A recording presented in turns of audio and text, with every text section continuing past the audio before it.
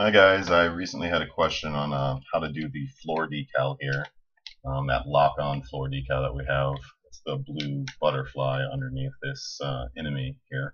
Um, used to be red, but I've changed it since then. But still the, the same general idea on how to go, do, go about it is the same. And it stays on the ground even when the enemy's in the air there. Um, so basically I'll show you how to go about making one of those, or at least how I went about it. Um, there's some benefits to how I do it and some negatives to how I do it, and I'll go over those as well. We'll start quickly with a uh, with what material I have. It's just a translucent unlit material for me, and I have it under two-sided as well. Um, I may not need that or not, but I don't feel like figuring out what side I'm supposed to have it on. Um, it's just a time, a sine node, bump offset, um, and then it's it's just uh it's just really just bouncing up and down here this uh this floor decal. Turn it on there. There we go. Um, and it's also got a rotator on it, so it's just moving. Just something to kind of catch the eye. From here, this this just goes right into uh, this just goes right into the emissive, and this just goes right into the uh, opacancy because it's just a, a white image on top of black. So so I can just go opaque right on it, and that's just so we can't see the the actual square that it's on, and that's exactly what it's on. In fact, um, I'm I'm using a static mesh actor here, this lock decal. It's just the shape plane that's actually comes inside the engine. You'll be able to find it. I actually use it quite a bit, to tell the truth. And because it's opaque, you can't really see the shape plane, you know. So uh, so all you're going to see is the butterfly. Um, and you'll probably be able to just set it to visible because you'll be spawning, or at least how I go about it here is a blueprint actor. Um, I have it under blueprint actor floor decal. Um, you're spawning in it, and it, it, you'll probably, when you spawn it, you'll just be visible anyway, so you don't have to really worry about um, turning this on and off. I have two in here, so that actually complicates things a little bit for me because sometimes one's on when the other one's not on, and they could turn on while the other one's on. So, so I go about that using visibility. So that's why this one starts off. In case the other one turned on, that's why I've spawned this actor. Um, I'm only going to go through the one um, but I just I, I did it so that I can uh, just use the one time that it's going to trace down over and over again rather than uh, using this this trace multiple times. Um, I was just trying to, to save a little bit, I guess. Um, so what we're going to do, I'm going to set up a, a, custom event in that blueprint floor decal. Um, for me, it's just setting up lock decal, and I let you choose whether or not the lock decals to turn on or to turn off when you call that in the first place. And to do that, you just hit one of these new boolean and then set whatever it is. And sure enough, when we call lock decal right here, you get to check whether or not it's on or off. Or you could, you know, do something like uh, this one is getting set here in the, in the enemy blueprint to on, and I can just drag that straight to here and it'll just automatically turn it on or off, whatever the, the last, whatever this one's set to. Um, from there, we're going to set the, the boolean is lock decal on, and then this is where I have to do visibility. Um, you may not need to do that once again, but if you do end up using two things in your decal, your floor decal or something that's going to trace underneath the, the enemy over and over again, then you need to do something probably like this. Um, so I set it to on. Also, I, have a do once, so only one time it'll it'll come through here and start this this loop basically because it's just looping over and over again. Um, to set that up or to turn this on or spawn this actor, I guess I should say, um, showing what I do here. When Alice locks onto him, she calls this event in the, the enemy blueprint. And then from there, they'll tell themselves that they're the, the lock target. That's true, that they're the lock target. So I set that here. Um, this is so that their color kind of you know fades up and down so you can see them a little more clearly. And this is where I see is a floor decal already active? Was it set somewhere else in that, that other part of the decal that I have? And if it is, all we do is we just turn it on. And then if it isn't, then we need to create it. Um, once again, you probably won't need to do this. If you just have a floor decal, you just go straight from from setting this or something straight into spawning the, the decal actor. And in that spawn a decal actor, you're just going to um, pick which class. Obviously, it's going to be decal actor. You just pick your transform. I just use the actor's transform. It doesn't really matter because I'll be setting that in a second.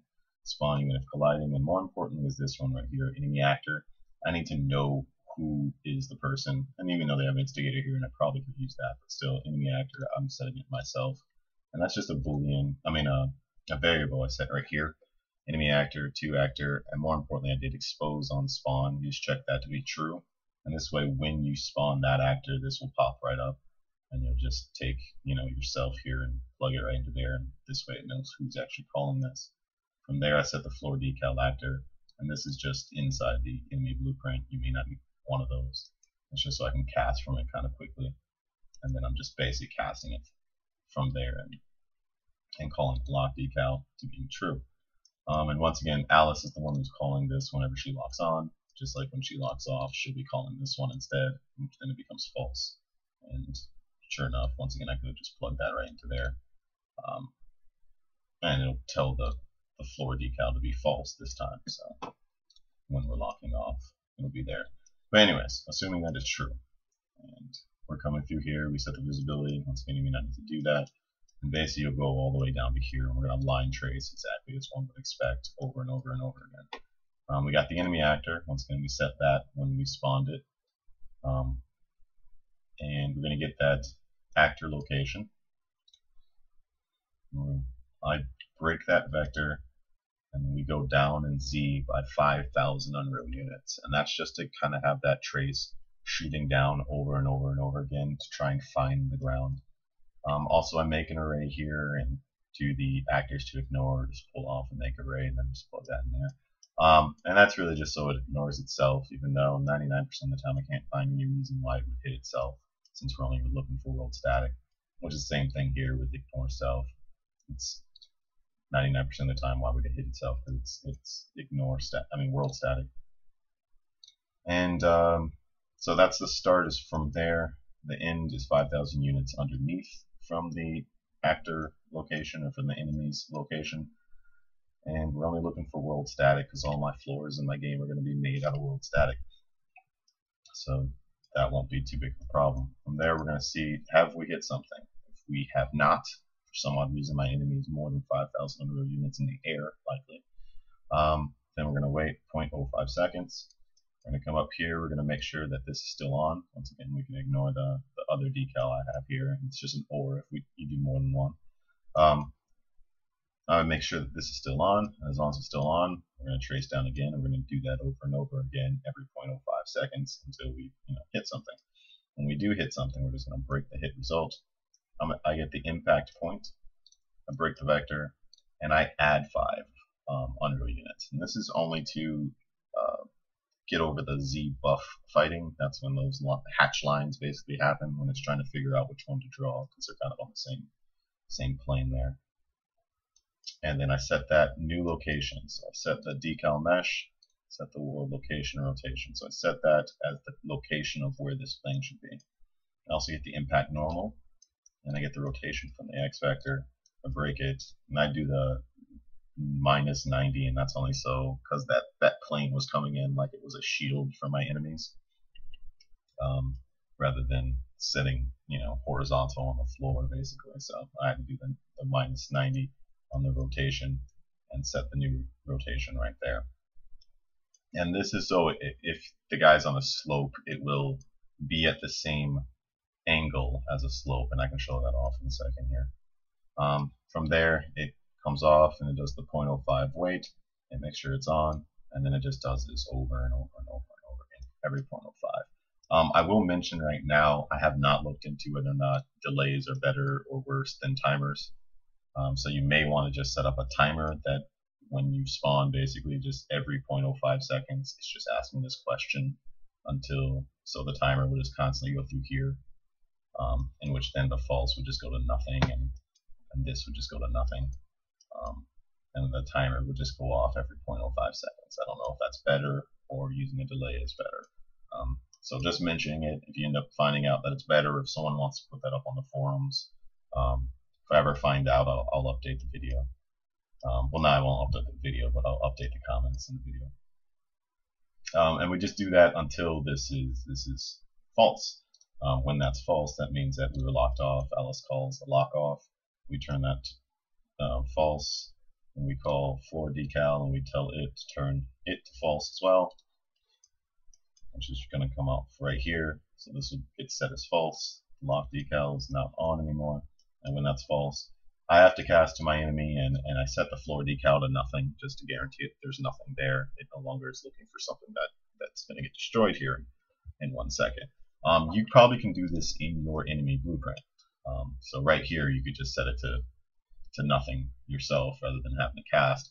I only have to do that just because once again I have two different ones so I don't know whether or not I, I can destroy it yet or set it to false yet. Um, I need to check both of those variables and this one's doing it already so I, I have it here. And then we just simply destroy yourself. Um, it's pretty much that simple. Um, shouldn't be that, that big of an issue here. Um, we'll test it out here again. Show it off one more time.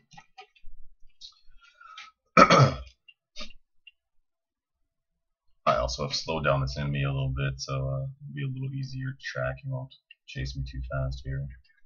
And that's that's it right there. You can see the line trace those those red lines. Um, right there, you can see that it's actually it's coming up on the angle. Uh, I just got hit. Uh, right there, you can see that it, that it does go on the normal, but you can also see the problem with me using a static mesh. So this is the limitations of it all, and that's if you look at the floor that the the wing is getting clipped in the floor because that static mesh is going inside the floor. And that's the limitations of using the static mesh that I'm using. Um, and the only reason I'm doing that is because I've run into problems with going about it with the regular way, which would be to um, use that right there, which is a decal. The decal is on the ground here, um, and they they'll go at angles and they'll do stuff like that where it's going around the corner a little bit. So um, and whereas a static mesh, it would just be still hovering here in space when it hits a corner. Whereas the decal, it just doesn't draw it in space. So a decal is pretty good, but I've, I've run into problems with decals where they, they wouldn't uh, show up in they wouldn't show up in the uh, in the shadows and then also when you turn on the experimental from time to time they don't draw always correctly so I'm definitely running into problems with decal. That's why I end up going with a static mesh, but I'm sure you can go about it however you want. And if you did want to do something um, with a decal, you basically just have to set that up, uh, deferred decal right there, um, instead of using a, a surface material. Um, that would do it. So it's really up to you on how you want to do the materials. Basically, the idea is still going to be the same. Just line trace down, and wherever you hit, break the normal, and it'll be fine. Um, if you have any questions, let me know. Um, that'll do it for me. Thank you.